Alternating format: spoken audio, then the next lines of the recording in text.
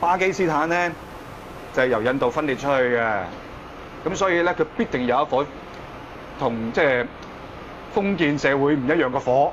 咁睇下你啦，你中意建制嘅，你就揾印度咖喱食；你中意即係闖下新天地嘅，嘗試下啲新嘢嘅話，你就揾一啲擺脱，即係離開咗原有地方，自成一國嘅嘅味道啦。嗱，呢個就係阿龍咖喱嘅特色啦。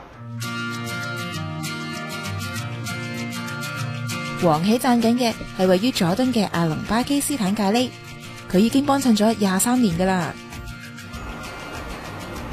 今時今日，仲有邊有咁鬼得閒，逐個更差攞紙巾包俾你啊！你睇我咁樣揈嚟揈去都未散，你點知佢包嘅時候佢幾咁用心？呢啲係大型連鎖店唔會有嘅嘢嚟㗎嘛。以前個餐廳好旺場，成日都要排隊。不過而家生意變得淡靜，於是黃喜決定幫阿 Pat 練習英文同埋普通話，等佢輕鬆招呼客人。好便宜哦！啊，當然啦。啊，我吃完了，現在可以打折嗎？可以什麼？打折什麼是打折？，discount。啊，沒有，為什麼？我在廣東省很有名啊！沒有關係。呢個香港，呢個沒有關係。點解講嘅英文㗎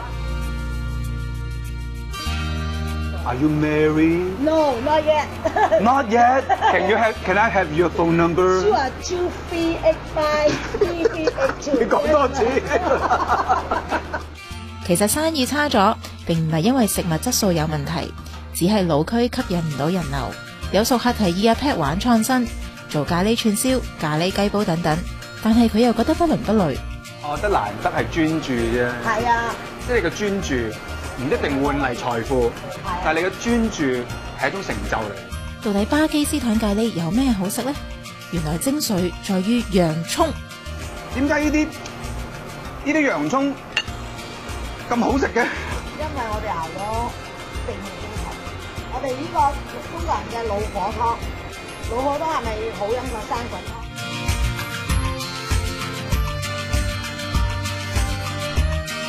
黃喜之前同何文田一間茶餐廳合作搞代用餐，一番好意，結果惹嚟投訴，佢就自發掃街平息事件。